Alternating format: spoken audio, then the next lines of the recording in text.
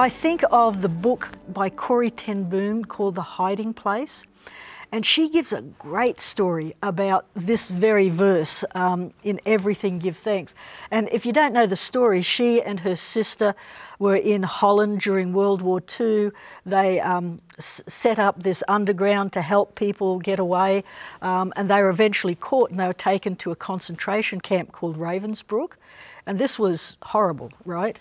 And, um, but they were able to get their Bible and to sneak it in with them.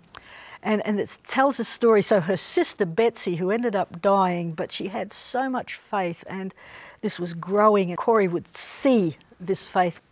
Anyway, so one day uh, they're in this, this, this barracks and there's hundreds of women in there and they're sleeping three high and they're in there and then all of a sudden there's fleas, right? She gets bitten by fleas and she jumps up and she, Betsie, look what's happening, right? We're getting, how can we do this? How can we do this?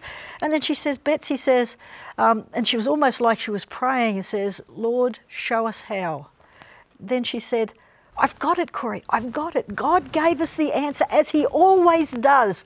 We were reading, uh, what were we reading this morning? And He said, We were reading First Thessalonians. That's right, that's exactly right. We were reading in First Thessalonians chapter 5, verse um, uh, 18, In everything give thanks. And Corrie sat there and going, give thanks for what? that we're sitting in this foul, you know, fleas. And she says, no, no, no, for, in everything, not just some things. And, and Corey, Corrie says, I am not going to give thanks to God for fleas.